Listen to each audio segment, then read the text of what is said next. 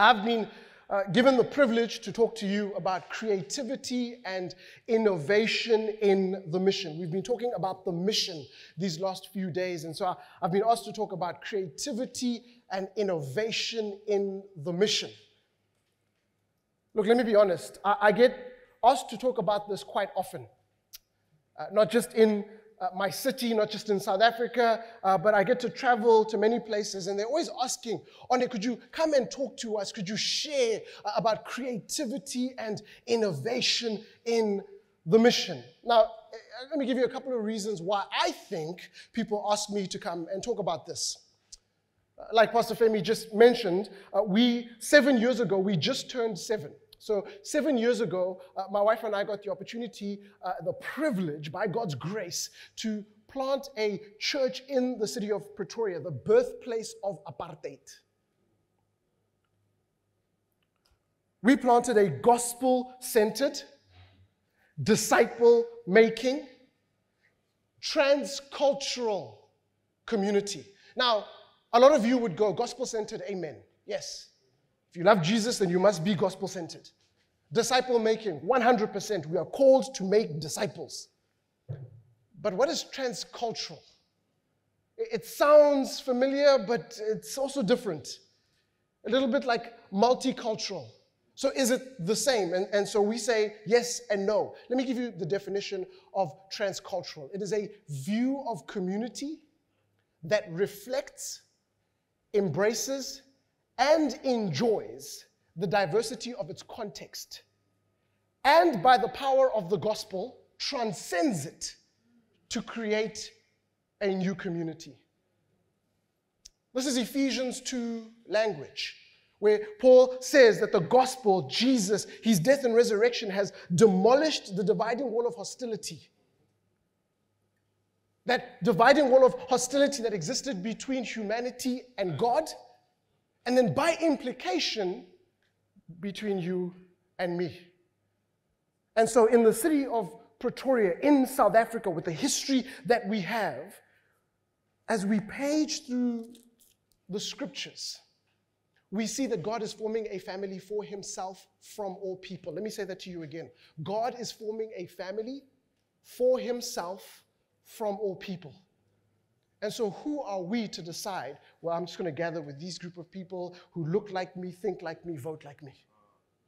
And so, we trusted God to establish a transcultural community. Now, that required a lot of creativity and innovation. If decade after decade after decade people had, had believed the lie that, that we are meant to gather together with people who look like us, we had to think differently. And by God's grace, He's established that community, and we've now multiplied. We've gotten the opportunity to plant two churches that we sent out last year who carry the same heart to say we want to be gospel centered, disciple making, and transcultural. So, so maybe that's one of the reasons people will ask me to come and speak on creativity and innovation. Maybe it's because in our Sunday gatherings, we have this thing that we call question of the day. Let me explain to you question of the day. We uh, gather, uh, we sing a few songs, much like many of your churches. There's a few announcements. And then before the sermon is preached, someone will come up and say, It's time for question of the day. Now you can imagine people who are familiar with a Sunday gathering would go, What on earth is this? And then that person will then explain what question of the day is. They say, I'm going to ask you a question I'm going to answer it so that you get an idea of what we are looking for. And then you must break up into small groups, threes and fours, and then you must answer that question with one another. Now you can imagine how awkward this is. It's already awkward that I've showed up for someone who is not a Christian or someone who is a Christian but hasn't been gathering with the local church. You can imagine this is awkward. I wanted to simply come in, sit down, sing a few songs, hear a sermon, and then go home. But now you're telling me to turn around and move my chair. What on earth is going on? And, and on top of that, we say you must be in a group with someone that you don't know or don't know that well. Even more awkward. And these questions, they're not theological questions. It's not what is eschatology or ecclesiology. No, no, no, no. It's questions like if you started a band, what would you call it? Or, or maybe when you, when you were growing up, what was some of your favorite foods? See, we do this because we believe that God has beautifully designed us for fellowship. That we were never meant to live in isolation. That even in a local church, people can believe that, that I've been designed to live on my own. But we were made for one another. And so we created this to establish community, to nurture fellowship. And we've seen some beautiful things friendships that have been developed. Now, all of a sudden, it's like, oh, you like that food? I also like that food. You named your band what? What? That's crazy. Why would you do that? Oh, let's talk a little bit more about that. We've seen how that fellowship has continued long after the gathering. Now, it's awkward, it's unconventional, but we do it. It adds an extra 10, 12 minutes to the gathering. But we do it. In fact, we actually stopped it during COVID because we had to social distance. When we started gathering, it wasn't too long before people were saying, Oh no, when, when are we doing the question of the day? When, uh, when, when, not, hey, what sermon series are we in? How can we be discipling people? Can, no, no, when are we doing question of the day? I want to ask questions about my favorite drink.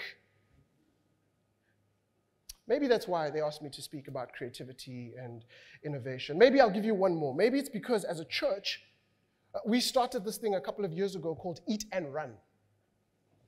Now, now, before you think, what? You're eating and you're running. No, that's not what it is. Eat and Run is where you get to gather with people for a meal in three different locations with three different groups of people. Let me explain. On a Saturday in the evening towards the night, you, you will have a starter, a main, and a dessert. So, someone, my wife and I, will go, we will host a starter at our house. Pastor Femi and Tosin will go, we will host a main, and then someone will go, we will host a dessert. And so we have a number of people that do that. And then we just say, invite your friends, invite your family members, invite your neighbors, invite your colleagues. I mean, already it's an interesting concept. Wait, you, are doing what? And so we break them up into groups, and then one group will start at our house for starters, maybe another group at another house for starters, another group at another house for starters, and then we'll eat together and we'll fellowship and we'll get to know each other, and then we'll go, okay, at a certain time, everybody needs to leave. And so we all get in vehicles, and those who don't have cars get in another vehicle with someone else, and then they drive to another location with a completely diff- different group of people. And you get together for a main. And then you sit and you engage, and you're like, where were you for starters? Where were you? Do you know what I mean? Like, this is incredible. This is, this is amazing. And, and the first time we did it, I, I believe we hosted a dessert. So we were the last group of people. So people came to our place. I mean, it, it was, it was it was so much fun. So much fun that it went well into the evening, into the early morning, and I still had to preach a sermon that Sunday. But there I was, mingling with people, with non Christians and believers and people who weren't part of a local church. It was incredible. And so at the end of that, you can just say, hey, we're a local church that gathers in the city. You're more than welcome to come. We're not as crazy as you think. We love to hang out with one another and eat good food and talk about Jesus. So, so maybe, maybe that's why they asked me to come and speak about creativity and innovation. But, dear friends, I'm here to make a confession. The gig is up. I, I believe the expression here is Yawa Dongas. I'm here to tell the truth. Pastor Femi, I'm sorry.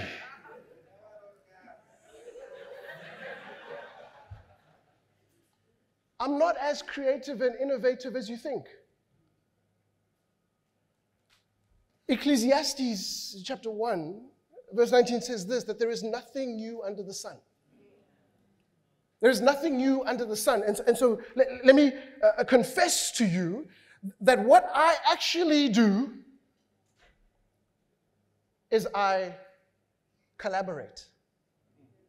You see, in the academic world, if you copy from someone else, it's called plagiarism. And please don't do it. Don't, don't. Um, it's being recorded, don't do that. Don't, don't plagiarize. But when we're talking about the mission of God, if I come to Lagos and, and I see something that you guys are doing and I go, wow, this is brilliant, I want to take it back home and contextualize it so that it fits my context, that's not plagiarism, that's kingdom collaboration. And, and I want you to know that I am a collaborator. I am always collaborating. Like what's been happening here? I'm taking notes. I'm taking, I'm collaborating. There's nothing new under the sun. And so when we think about creativity and innovation on mission, we need to recognize that God Himself is creative and innovative that as the church, we, we press into who God is, and, and what comes out is this creativity and innovation from God Himself, who has always been on mission. But just in case you don't believe me, let's work through some definitions in Scripture. Creativity. Creativity. What, what does this mean? I looked, looked it up and I got this definition it's to bring something into existence, the use of imagination or original ideas to create something. Genesis chapter 1, verse 1 says this In the beginning, God created the heavens and the earth, that everything that we see has been created by God. God is creative. Isaiah chapter 40, verse 28 says this Do you not know? have you not heard? The Lord is the everlasting God, the creator of the whole earth. He never becomes faint or weary. There is no limit to his understanding. John chapter 1, verse 3 God created everything through him, speaking of Jesus, and nothing was created except through him. Psalm 19, verse 1 The heavens declare the glory of God and the expanse proclaims the work of his hands. Genesis 1 26. This is the, the grand creation of God. Was who? Was us. That in everything that we see, uh, it blows our minds. I mean, scientists are, are learning so much more about the ever expanding universe. The Bible tells us that the greatest creation by God was us.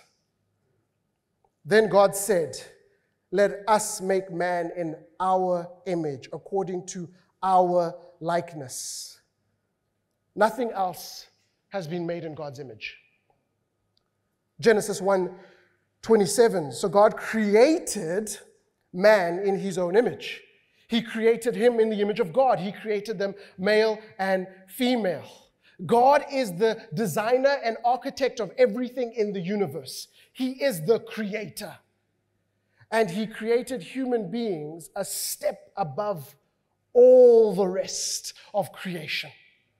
And he did that by breathing into the nostrils of man. Do you know how beautiful that is? Think about it for a moment. That the first thing that man saw when he opened his eyes was the face of God.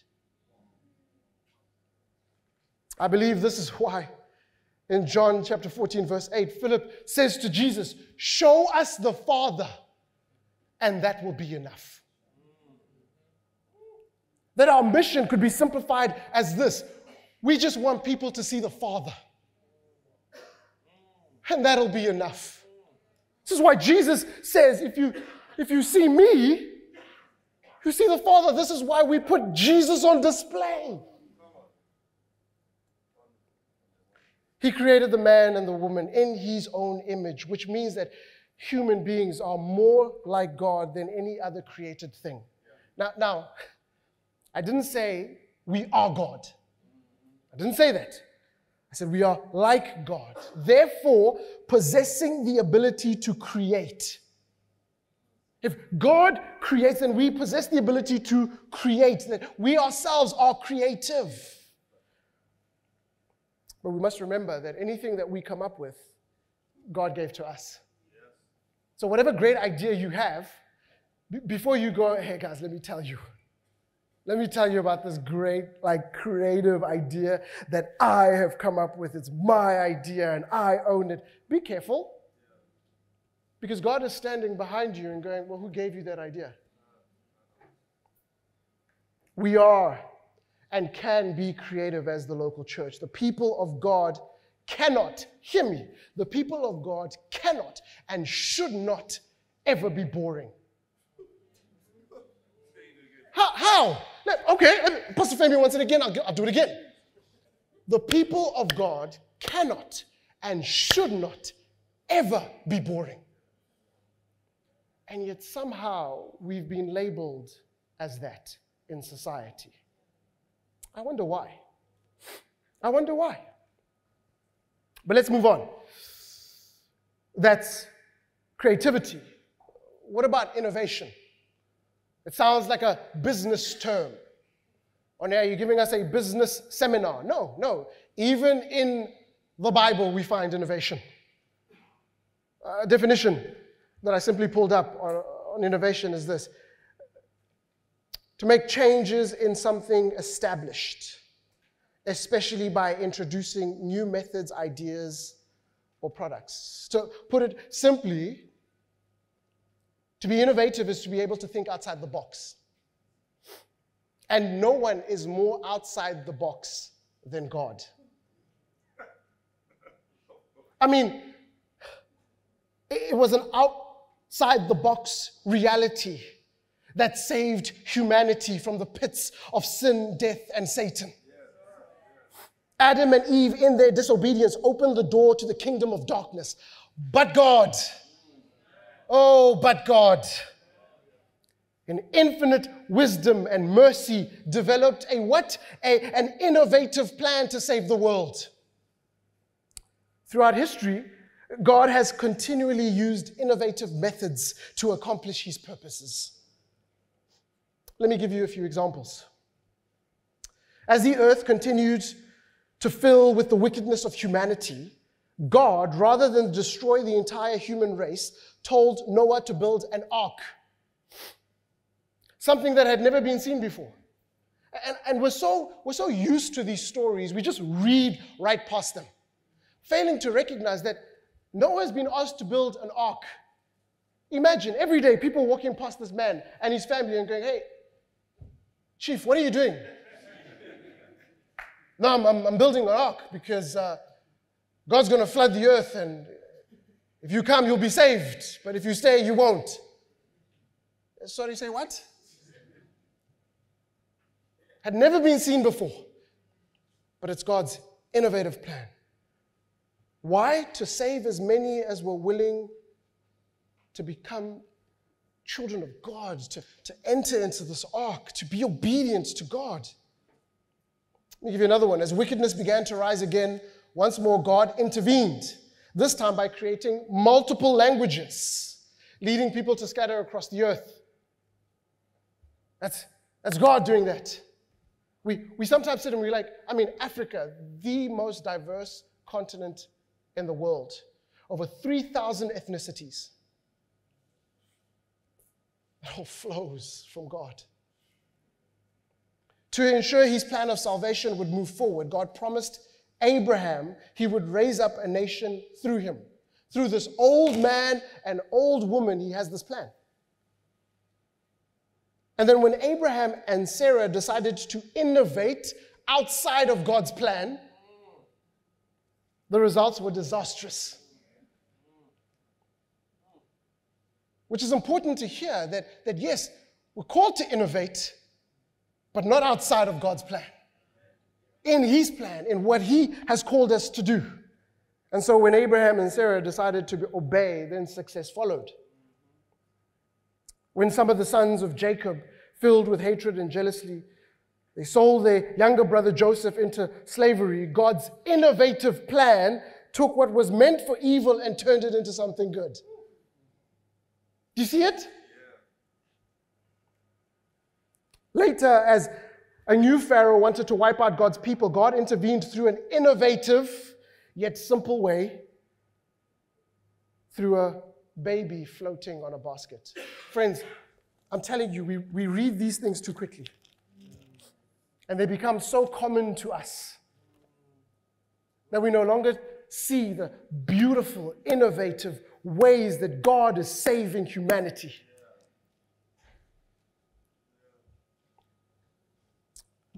I could go on and on and on because the list goes on and on and on. Water from a rock, walls crumbling by simply marching around them, a giant killed by a young boy with a stone and sling. These are but a few of God's innovative ways of intervening in the wickedness of man, and each one more creative and more innovative than the one before. But the most amazing one, the most amazing one, was when a baby born to a teenage girl was placed in a humble manger. And as the story goes, that, that baby would grow to become a man, and that man would be nailed to a cross.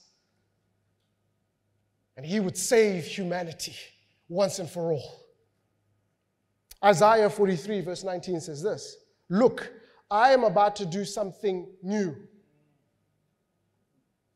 Remember the definition of innovation? Right there in Isaiah 43, verse 19. Look, I am about to do something new. See, the coming of Jesus to earth is the new thing Isaiah's prophetic words are pointing to. Jesus himself. In fact, Jesus goes on to say in Luke chapter 20, verse 22 After supper, he took another cup of wine and said, This cup is the new covenant between God and his people, an agreement confirmed by blood, which is poured out as a sacrifice for you. Friends, God became a man, lived the life we should have lived, died the death we deserve, poured out his blood for you and me for the forgiveness of sins and to be reconciled to the Father. Rose from the grave and ascended to the right hand of the Father, and one day he will return to make all things new. Friends, we say this is the gospel. And it's so creative and so innovative that God would do it this way. God could have done it any other way. He could have literally snapped his fingers and it would be done. If you're in, you're in. If you're out, you're out. But, but he doesn't. We get this, this beautiful story that, that should amaze us every time we hear it. And if it doesn't, then we should ask the question are we doing something wrong? Has it no longer captivated our hearts? Then our, our prayers should be different. We should be praying, God, would you awaken our hearts to the wonder of who you are? Otherwise, this is just another job. It's just another thing that we do. Oh, Sunday's coming, okay. Make sure the band is ready. Make sure all the leaders are in place. Do we have the curriculum? Do we No, no, no, no. Jesus died for us and he rose from the grave. But before ascending to heaven, Jesus promised his disciples the gift of the Holy Spirit, promising power to be witnesses. Where? Acts 1 8, in Jerusalem, in Judea, in Samaria, and to the ends of the earth. Friends, this is what we've been talking about this whole week. That by grace, God has called us to be a part of this mission. Now, quick side note in Acts chapter 1 8, he, he says, I want you to go to Jerusalem, Judea, Samaria, to the ends of the earth. I love Jesus. I love Jesus because he, he will never call us to do something that he himself has not done. This is one of the reasons that we can trust him. Jerusalem, Judea, Samaria, the ends of the earth.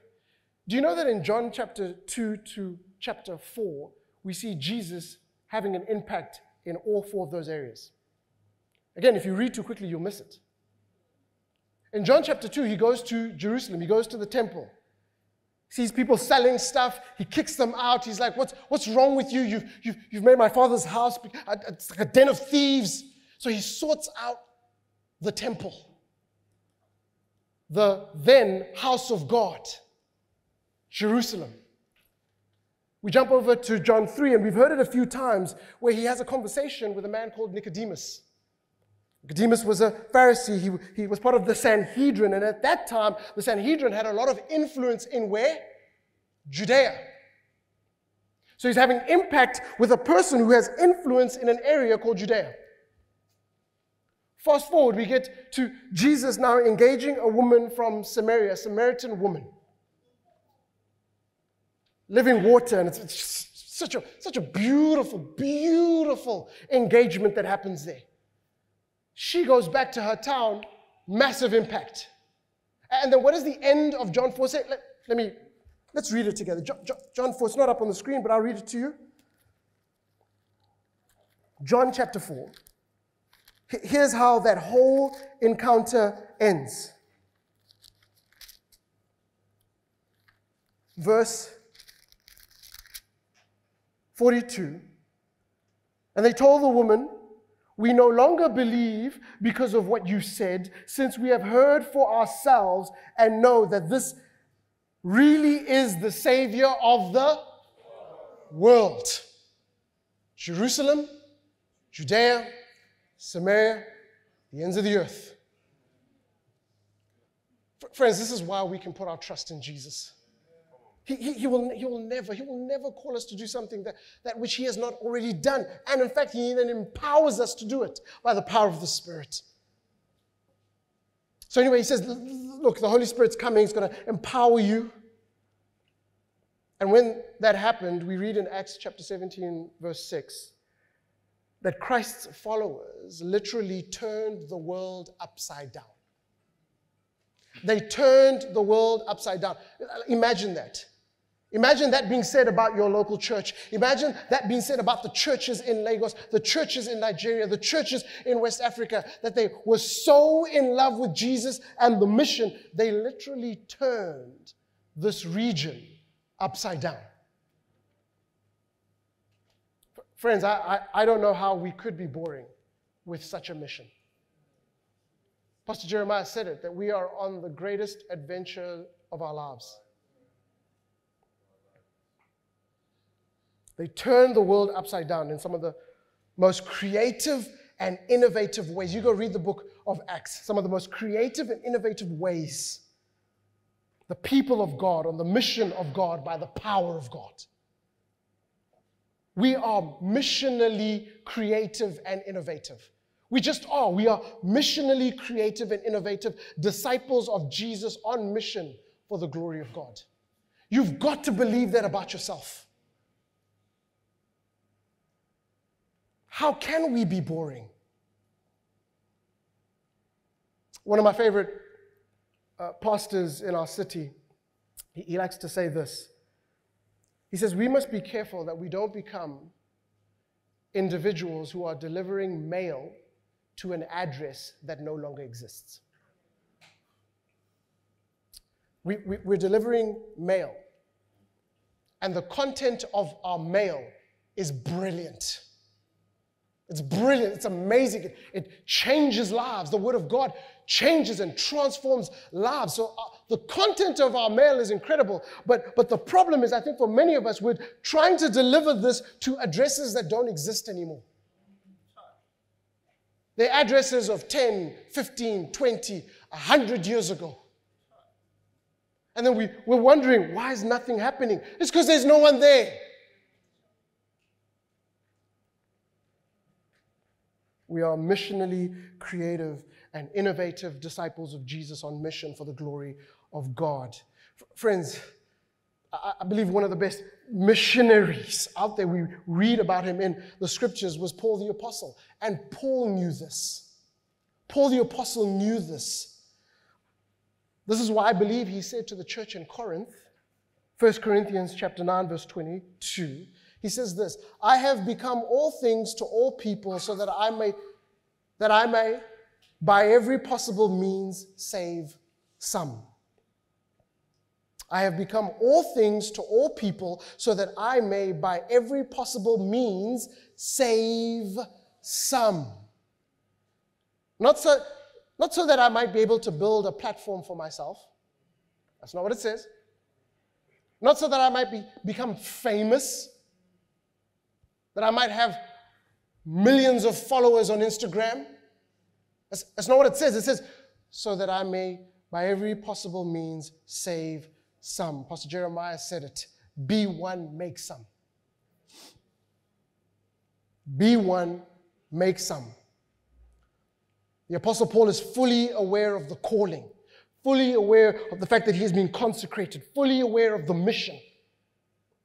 And because he's aware of those things, he knew it would have required him to change elements of his approach when needed. He would have to change elements of his approach when needed to be creative and innovative when needed. Let, let me read you the whole context. 1 Corinthians chapter 9 from verse 19 it says this, although I am free from all and not anyone's slave, I have made myself a slave to everyone. Why? in order to win more people. The mission. He says in verse 20, to the Jews, I became like a Jew. Why, Paul? To win Jews. The mission. To those under the law, like one under the law, though I myself not under the law. Why?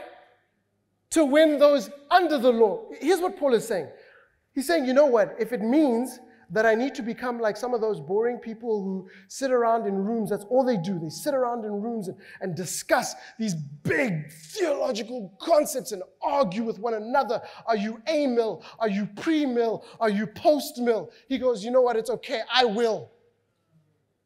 So that I might win some. Some of you are sitting here going, Did he say post mill, pre mill? Is he, is he talking about being a millionaire? Can I be mil-? Like, what, what are you talking about? If you don't know, you are one of the lucky ones. He says, I'll do it. If it means that we can win some. Verse 21 to, to those who are without the law, like one without the law, though I am not without God's law, but under the law of Christ to win those without the law, the mission. To the weak, I became weak. Why would anybody want to be weak? In the world that we live in today, why? It's all about no, I've got to put on this posture of I'm in control, I'm in power, I know what's going on. Why would anybody want to be weak? Well, Paul says, I'll do it. If you mean it gets me an opportunity to be around those who are weak, Hey, what do we need to do to be creative and innovative to be around the weak? We'll do it. Why? So that we might win the weak. I have become all things to all people, so that I may by every possible means save some. And then he says in verse 23 Now I do all this because of the gospel. That's important so that I may share in the blessings. I want to share a little story about uh, my wife. Um, incredible, incredible woman. And a couple of years ago, she felt God was saying, Hey, they, we live in an area where there's a lot of prostitution. There are these young girls that are, are, are being taken from the villages, brought to the city um, with promises that, that, that they'll, they'll, find jobs and they'll be able to go to school and so forth, but then they get hooked on drugs and then they find themselves in a life of prostitution. And so my wife says, You know what? I believe God's called me to mission. There's a reason that we live here, literally, literally a street away. So I'm going to go spend some of my evenings with them. I'm going to simply just build friendship, build relationships. Now, now, you can imagine, we lived at the church. The church was literally a block away from where all of this was happening. There was a flat on the church. And, and so there were the, the community that came to the church, they were in that area. I, imagine one of them driving by and seeing my wife and going, and then? You know when you do that quick reverse? Because it's dark, it's at night, and you're like, you pull out your phone and you, put on the torch. Is that conflict? No, it can't be.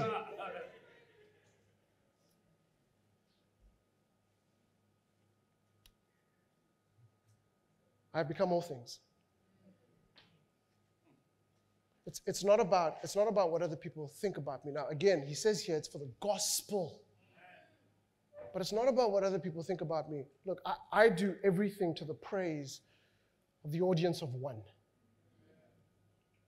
When I show up and I open up God's word, look, some people will like it, some people won't. Some people will fall asleep, some people will be like, this is incredible. And, and praise be to God that He uses this. But you know what? I want to glorify Him and Him alone, the audience of one. And so when you think about your mission, you, you might go, but you know, what are people going to think about me? Like, are they going to think he's not really serious about his faith? Are they going to, hey, what does God think about you? What does God think about your local church, about your ministry? Now, let me be clear. Let me be very clear. What this does not mean is that we are to compromise with the world in order to fit in. I have become all things, many times has been misunderstood. As Paul is giving the church an excuse to live ungodly, worldly lives, with the hope that unconverted sinners will be impressed with us and then they'll want to come to Christ. That's not how it works. They don't look at us and go, oh, wow, you're a Christian, and he's at the party getting drunk yeah, maybe I'll give my life to Christ. I've never heard that before in my life. Never. Amen. Oh, oh, he's, but he sings in the choir and he's sleeping around with a bunch of girls, and we're all fully aware of this. Oh, okay, yeah, no, then, then Christ is very appealing.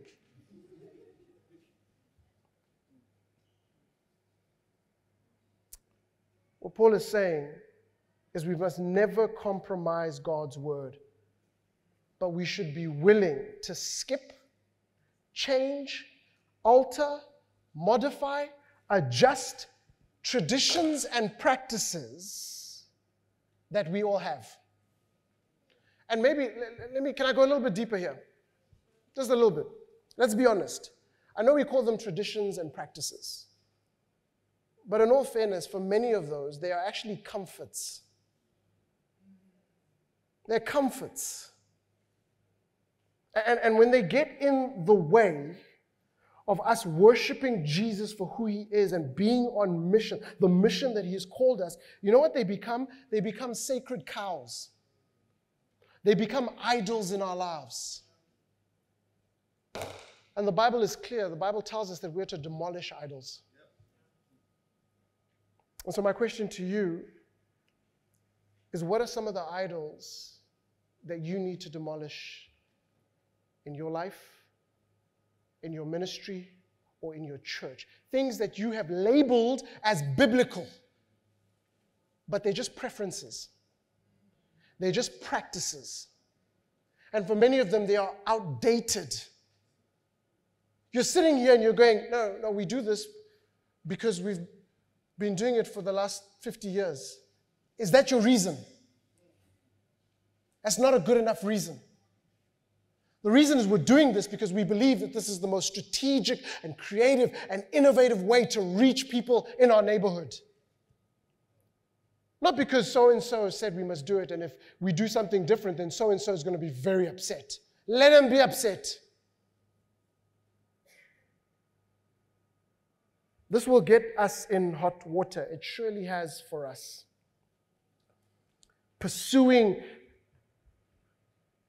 the mission by being creative and innovative and asking difficult questions about some of the ways that we do things has gotten us in some hot water where people are going, I don't know if One is really a Christian. We, we had a guy, we had a guy, let me tell you a story. We had a guy who, who he's now part of our church. He's plugged in, him and his wife and their kids, they're amazing. Um, they're, they're in our band. But, but, but the first three, four Sundays, he struggled every time he came to Rooted Fellowship Because he, he would show up and, and he, he'd experience everything that we're doing. And every time something happened, he'd go, aha, they're Pentecostal. And then something would happen, and they'd go, okay, no, they're not. And then we open up, they're Baptist. And then something would happen, they'd be like, okay, no, no, they're, they're not. And so I heard Pastor Femi say yesterday, we've heard from a Baptist, we've heard from a Pentecostal. To be honest, I don't know what I am. I have become all things. So you can call me whatever Pentecostal, Baptist, Methodist, what, like for me, I'm just going, what, what is the most effective way without compromising the gospel to reach people? We'll do that. It'll get you in some hot water. It got Paul into some hot water. Paul was accused of bringing Gentiles into the temple. His second arrest was because of that. How dare he bring Gentiles into the temple? Simply because he was preaching the gospel and saying, hey, in Jesus, his death and resurrection has divided, destroyed the dividing wall of hostility. That means there's no longer Jew and Gentile. Pastor Femi alluded to it. You see, uh, and, and much of the world is this way. We share the gospel, and Jewish people come to faith, share the gospel, Gentile people come to faith. It's so easy to just start a Jewish church, start a Gentile church. This thing becomes a mega church, and then it's all about the planter. Paul goes, Nope. Jewish people, Gentile people, one family. If you read the letters, yes, a lot of what Paul addresses is theological errors and, and, and where they miss the boat on the gospel. A lot of it is that. But if you read carefully, a lot of it is about food, holidays, what you wear. Like that's what he's addressing. Why? Be- because Jewish people were going, hey, we don't eat pork.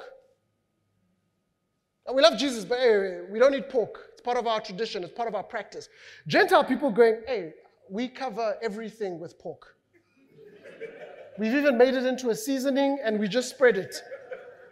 Be like jollof and pork seasoning on it. And so he's having to address this and say, guys, the, the gospel, the gospel, the gospel, because one of the most beautiful pictures of the gospel is when people from all walks of life come together one Lord. We heard it from Chris last night. One Lord, one hope, one baptism. This, this oneness. It got Paul into some hot water. So it begs the question why would Paul do this? Why? Well, it's because I believe he had the same heart and passion that Jesus had.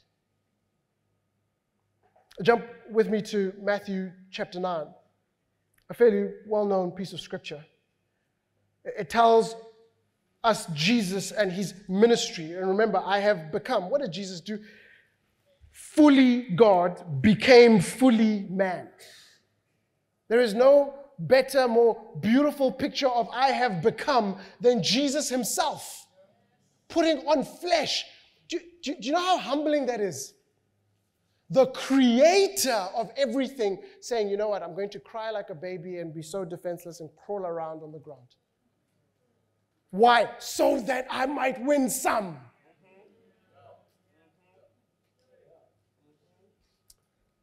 Matthew chapter 9, verse 35. Uh, I'll run through this real quick. The text tells us Jesus continued going around all the towns and villages, teaching in their synagogues, preaching the good news of the kingdom, and healing every disease and sickness. He went around all the towns, all the villages. This speaks of the fact that Jesus went everywhere. He just went everywhere. He was like, I just want people to, to, to hear of the kingdom.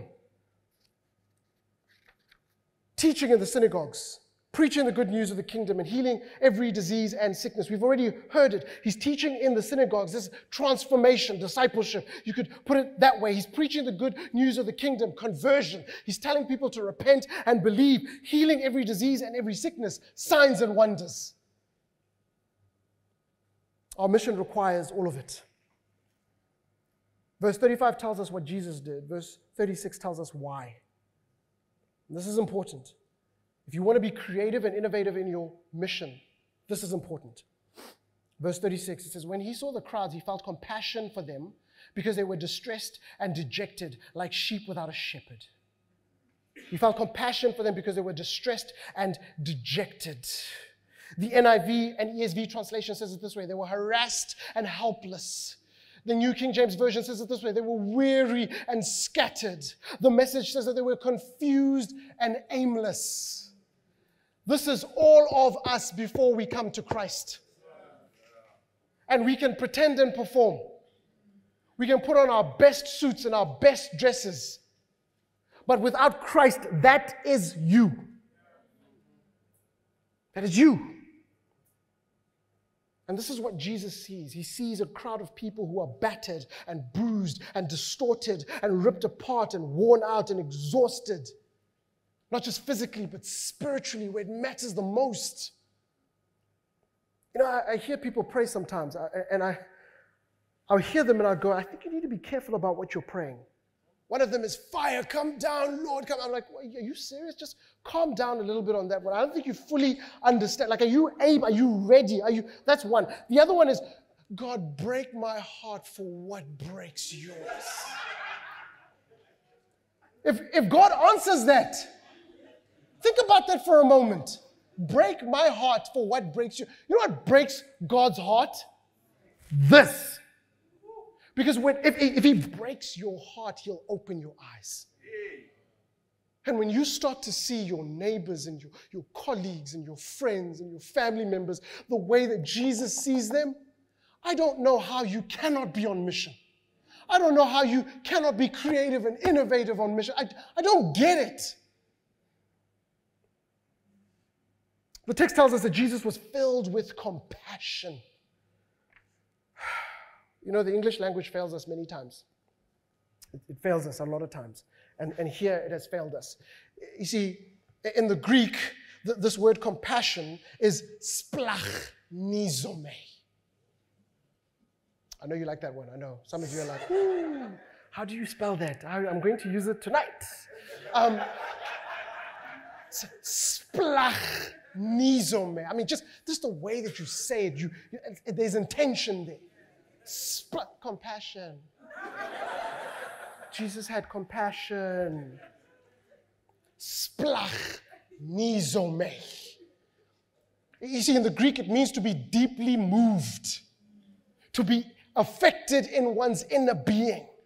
I, I could tell a story could, about when this happened. I will, I'll be very brief. Uh, two, about two years ago, uh, we had just started our sabbatical, our family, and, and my, my, my, I wake up in the morning to the, the cry of my wife. I was upstairs, she was downstairs, and, and she cries out to me, and I could hear that this wasn't a normal cry. This wasn't a, you left the towels on the bathroom floor. It, was, it wasn't one of those. It was like a serious cry, and, she was saying, something is wrong with our youngest daughter. So I rush downstairs, and I see her. She's in her, my wife's arms, and she's, she's shaking. She's like shaking a lot, and she's not really engaging with us. We're calling out her name, but she's not engaging. Her eyes eyes are looking up, and I go, What on earth is going on? I go back upstairs, grab my car keys, change as quickly as I can, run downstairs, grab my daughter, get in the car, no seatbelt, and make my way to the hospital. Our youngest daughter was having seizures. I get there now, it's COVID, and everyone's trying to do uh, protocols, and so, uh, what's your name? What? Medical aid card. Are you sick? Are you sick? Like I was ready. I was, I was ready.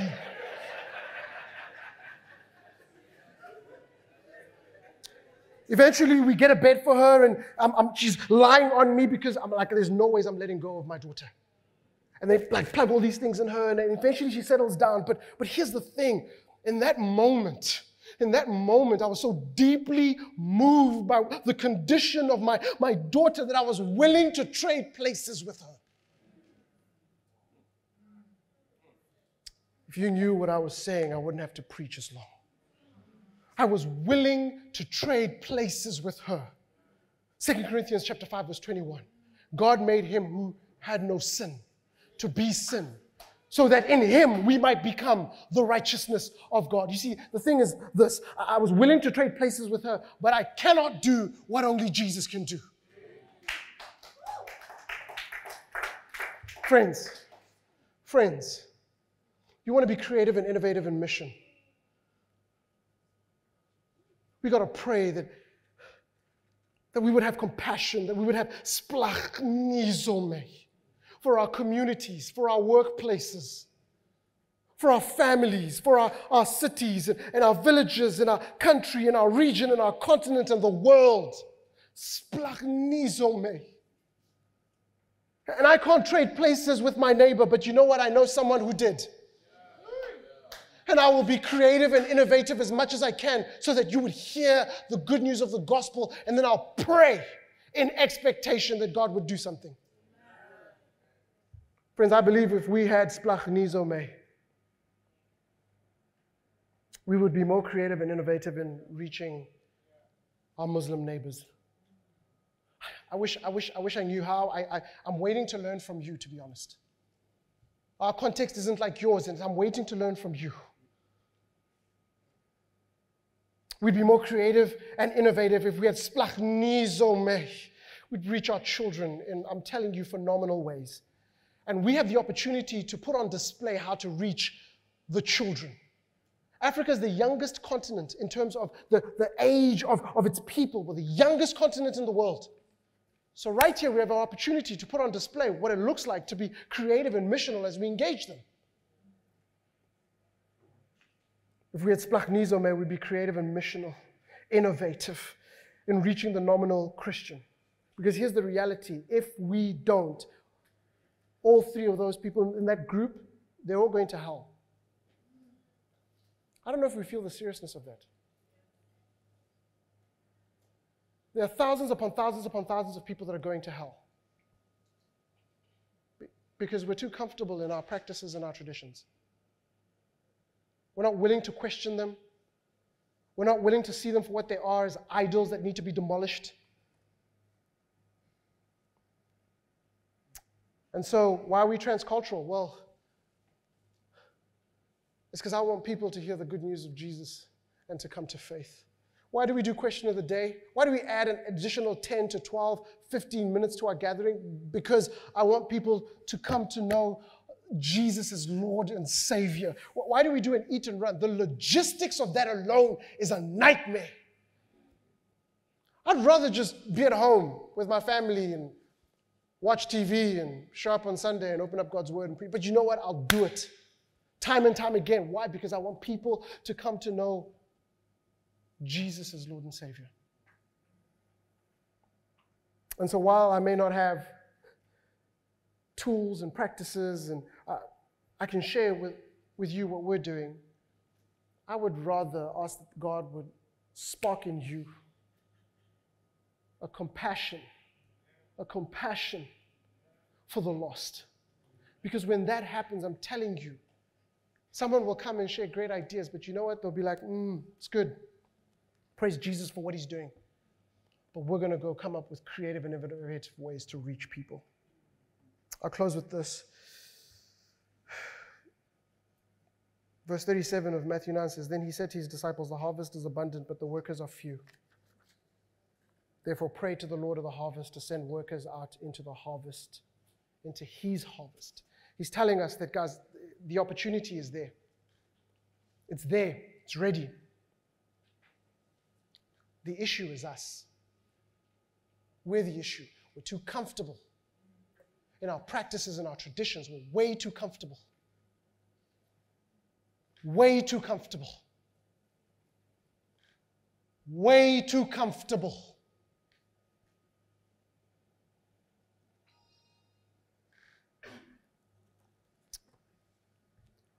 I want to close in a prayer.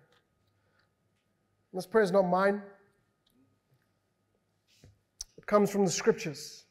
Paul prays to the church in Ephesus. It's his second prayer. I'm going to pray this for us.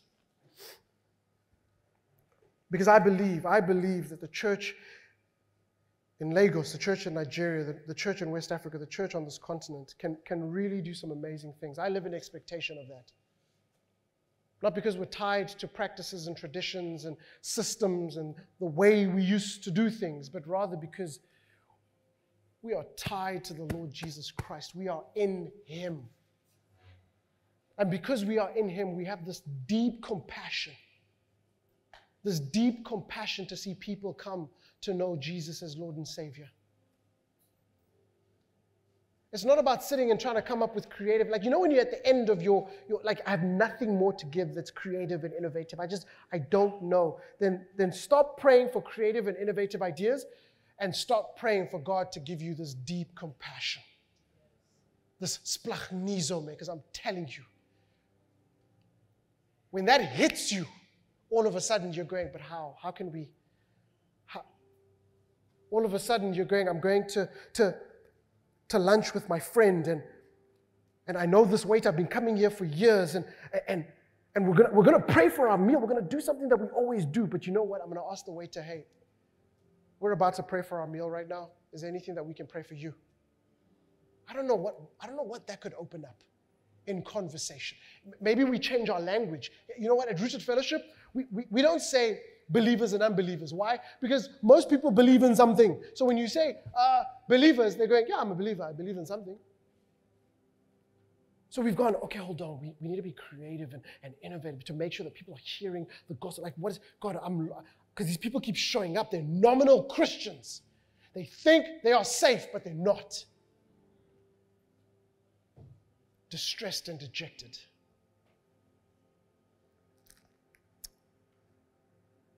And so here's my prayer. Ephesians chapter 3 from verse 14, it says this. Paul writes, For this reason, the, the, he's just unpacked the, the, the fact that God is using the local church as his vehicle to put on display his manifold wisdom. He's so blown away by that that God would use us, you and me. He says, For this reason, I kneel before the Father, from whom every family in heaven and on earth is named.